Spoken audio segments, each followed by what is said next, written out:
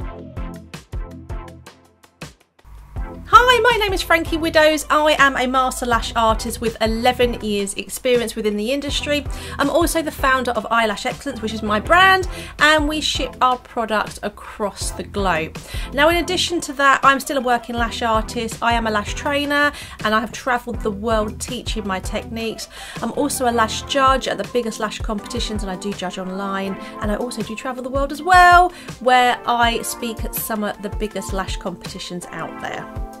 Now with my videos, I love to share all the techniques that I've learned over the years, just to really help you guys out because I appreciate that learning lashes and learning it correctly can be really difficult.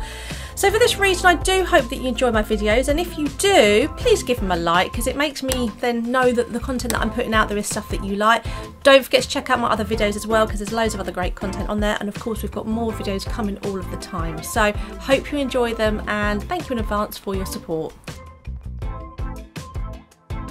In today's video I am going to show you how to work correctly with the different lash layers that you get on a client. So what I mean by that is that we're applying the correct length to the right layers so that you're getting a nice smooth top line and not staggered tips. Now some staggered tips are okay but if you get it really wrong you're going to have lash lengths that stick out the set and no one likes that look. So I hope with this simple video you'll now understand how to work correctly with the layers.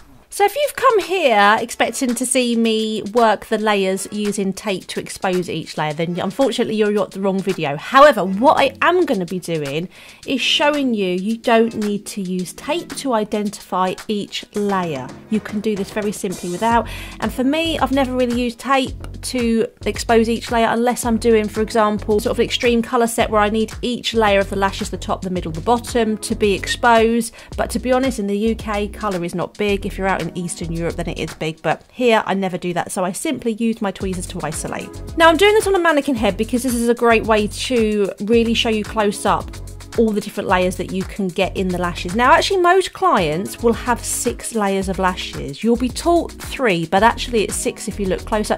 Yes, normally there's two or three in the inners and outers, but across the eye, it's going to be six. However, we're going to group them into three layers. So, group them into the bottom layer, the middle layer and the top layer and we need to know how to isolate out each layer and place the correct length on each layer of lashes. And once you get the hang of this it is really simple trust me.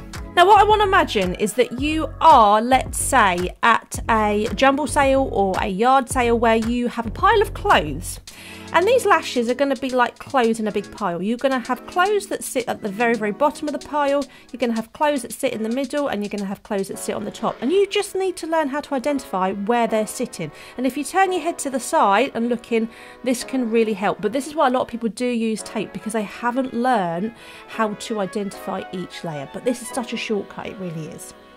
So this is where experience comes in and you just need to take a little bit of time to start working through the lash layers to identify what lashes sit on the bottom, the middle or the top. Now quick tip, if you get lashes, you sometimes get stray ones that will grow up here in the very top layers, ignore them. Do not put a lash extension on them, however much they scream out that they're lovely, do not, because when the eyes open, it will stick out like a sore thumb. Also, sometimes if you lift the lashes up, you'll see little tiny baby lashes that are sticking out from the bottom very low. Again, don't lash those. You'll have to change your curl because normally they grow down poker straight. They're usually baby lashes, we don't want to lash them. And again, if you do put an extension on them, if they are a baby lash, they're going to grow out too much. And again, they'll hang out of the set. So unless your client has got a really low lash count, ignore them.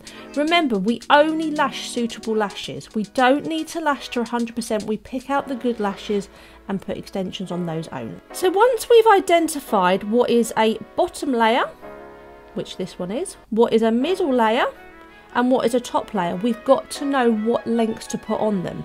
Now, when we actually do eyelash extensions, you should be lash mapping. Every good experienced lash artist will lash map, and that is where we have a pad on, which we haven't got on here, and we've drawn our lash map on the pad. This is the only way in which you're going to get complete symmetry of the eyes and actually get a really nice looking set. I know people freestyle, and that's great for them, but precision lash artists always lash map, and this is going to help you with your layering. So, for example, I want you to imagine that that this section here would be a 12 millimeter zone. So we're going to be putting 12 millimeter extensions on them.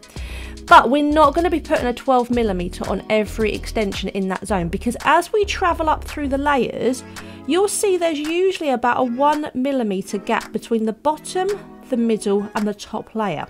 So if we were to put a 12 millimeter on the lower layer, on the middle layer and the top layer, your tips when the eye is open is going to be staggered. Now if your client likes that effect, that's absolutely fine.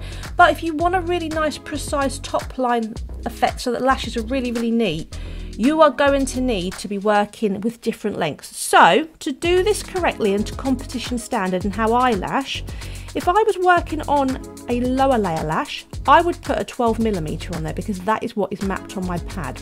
But then when I went to a lash that was on the middle layer, I would put an 11. I'm going down by 1mm because there is a 1mm gap between the bottom lash and the middle lash.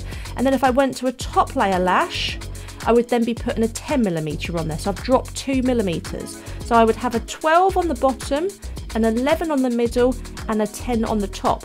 Because, like I said, there's a three millimeter approximate gap here between the lower layer and the top layer, and I want all of my tips to run in line.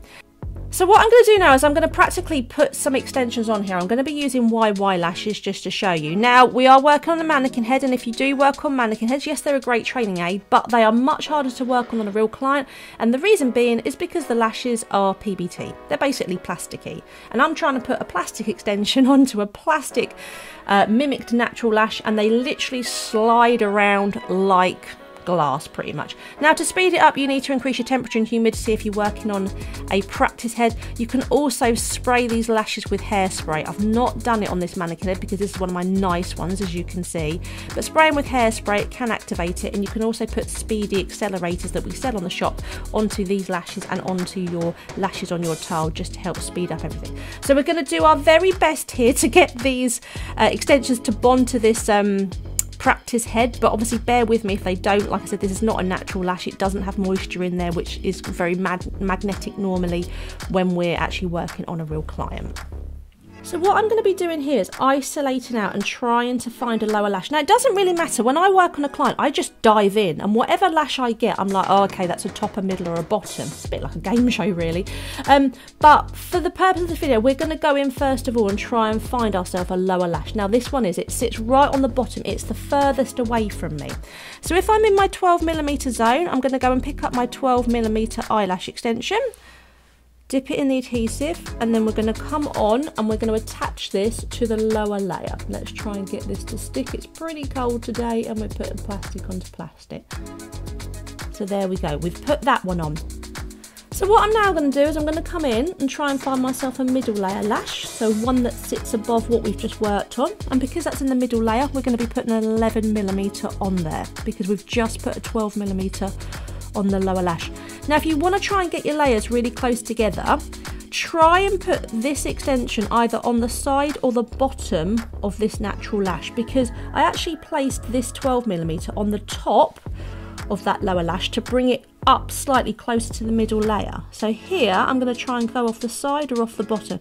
It's probably going to be easier to come off the bottom on this practice lash just because it's not a real lash. I'm trying to come off the bottom, it's not easy. Think I'm actually off the side. It's not the best attachment because it is a practice lash, but we're going to go with it. So we've placed that 11 millimeter now on the middle layer. So now what we're going to do is we're going to come and fish out a top layer lash. And again, I wouldn't normally work this close proximity to lashes that I've already put on because we're going to get stickies. So I tend to work across the eye. Stay as far away from the lashes that you've just put on. Now because we put an 11mm on, I'm now going to put a 10mm on that top layer. And again, I'm going to try and come underneath that natural lash to try and keep those layers close together. Coming underneath. Oh, we've got a little bit of a flop on going on, but hey ho, that's what happens when we're working on practice lashes. Like I said, real lashes will just be magnetic and take these off you because of the moisture in the natural lash. And there we go. So we've got a 12 on the bottom, 11 on the middle and a 10 on the top. Now on its own, it's not going to look overly pretty because, you know, when you've built the whole set, you've got all of the lashes there nicely together, but you are going to get a nice super sharp top line, which I will show you in this image here, just so you can see what I'm talking about when the full set has been created. So I hope that just shows you that you don't need to be using sticky tape to be able to pull the lashes back to expose each layer like you say, you'll see videos of it where people are putting pads on there, exposing the top layers. If you learn this craft, and this just comes through experience, you will very quickly be able to dive in. So, for example, I'm going to dive in here and isolate a natural lash. Let's go for this one here. And I can tell you that's a middle lash because I know what I'm looking at. If I go in and go down here, again, that's a middle lash. Up here, that's a top lash this one's a lower lash. You can very quickly learn which lashes are which. At the end of the set, if you're struggling, you still think you've got lashes that are unexposed or unlashed, you can use a bit of tape to pull back here. But again, I don't. You might just use your tweezers and be like, oh, there's a couple there. And that's when you can then focus on that area. Go in and do your isolation, find it and put an extension on it.